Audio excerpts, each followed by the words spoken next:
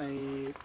กรณีของคดีอาญานะครับ ทางอุทยานชาติเอราวัณได้นำส่งพนักงานสอบสวนนะฮะสพศรีสวัสดิ์พนักงานสอบสวนมีความเห็นสั่งไม่ฟ้อง